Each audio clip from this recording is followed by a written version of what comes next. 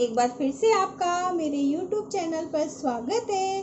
मैं आज आपके लिए इंस्टेंट कमन ढोकला बनाना, बनाने जा रही हूँ। उसके लिए जो सामग्री चाहिए, उसमें एक चम्मच तेल, एक चम्मच चीनी, एक चम्मच नमक, थोड़ा सा पिंच हल्दी, आधा नींबू, एक इनो से और जितना बेसन लिया है, बेसन छान के हमने लिया एक कटोरी तो एक कटोरी पानी।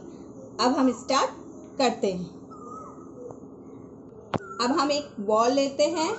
बॉल में बेसन डालते हैं।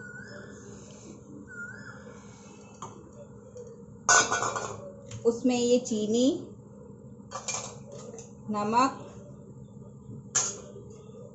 हल्दी और तेल। अब हम इसको मिक्स करते हैं।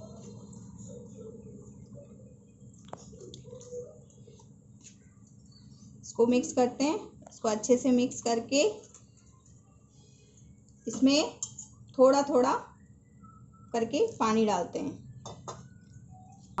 देखिए, इसको थोड़ा थोड़ा पानी करके इसको मिलाते हैं। देखिए, अब इसमें ये पूरा पानी मिला दिया। एक कटोरी पानी, एक कटोरी बेसन था जो पूरा मिला के ऐसे मिक्स करते हैं अच्छे से। उसको पूरा फिट लेते हैं। को एक ही तरफ़ से चलाते हैं चम्मच को, फिर अच्छे से मिल जाता है। इसको अच्छे से मिलाने के बाद अब हम इसको तीन मिनट के लिए ढककर रख देते हैं।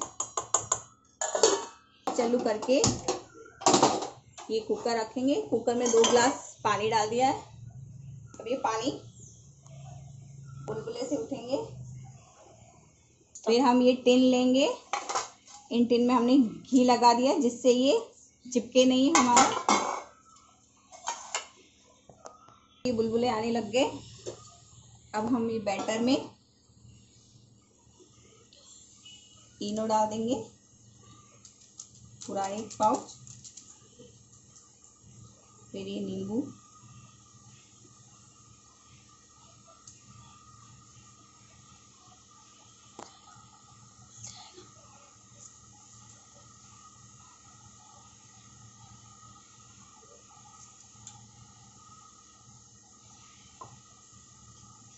अब इसको हम मिलाएँगे। देखिए, एकदम से हो है।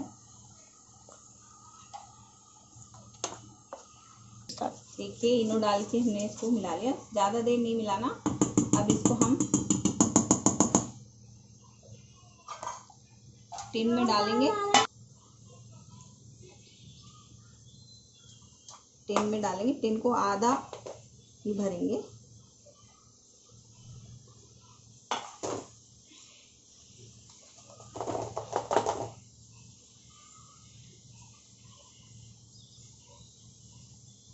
देखिए, हम इसको दे रखते हैं।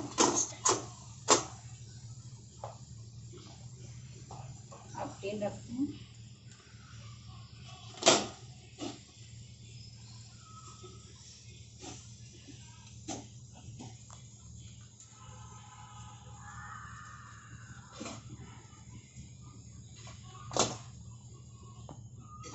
अब इसमें ढक्कन लगा देते हैं और 10 मिनट बाद देखेंगे छौंक के लिए पानी बनाएँगे।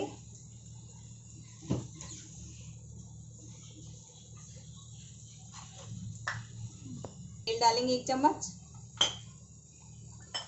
डालेंगे। ये मिर्च और कड़ी पत्ते डालेंगे।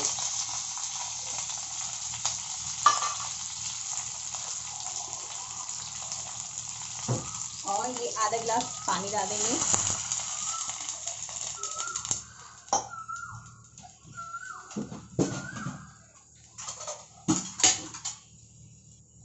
एक चम्मच, दो चम्मच चीनी डाल देंगे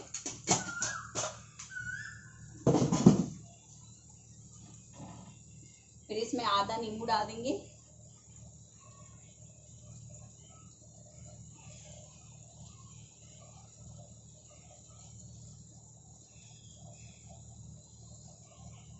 अब इसको उबलने देंगे। देखिए, पानी में उकाल आ गया। अब इसको हम बंद कर देते हैं। अब हमारे ढोकलों को देख देखिए, अब इसमें हम नाइफ डाल के चेक करते हैं। एकदम साफ़ आए तब, तभी थोड़े पाँच मिनट और रखते हैं। अब हम ढक्कन उघाड़ के देखते हैं। एक बार फिर वापस नाइफ लगा के देखते हैं बीच में से। देखिए, हमारा तैयार है। गैस बंद कर देते हैं। इसको ठंडा होने के लिए रख देते हैं। देखिए, हमने इसको बाहर निकाल लिया। अब इसको ठंडा होने देते हैं। फिर नाइफ से साइड में से ऐसे ऐसे करते हैं।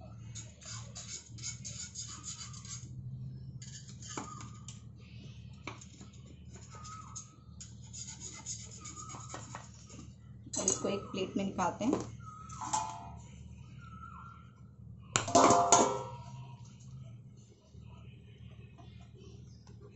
देखिए, हमारा तैयार है।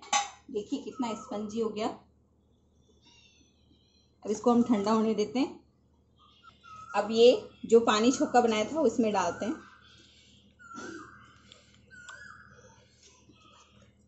अब हम इसमें डाल लिया।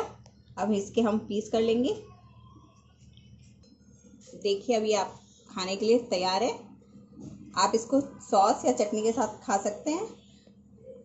ये वीडियो आपको कैसा लगा? सब्सक्राइब करिए और बेल आइकन बटन दबाइए।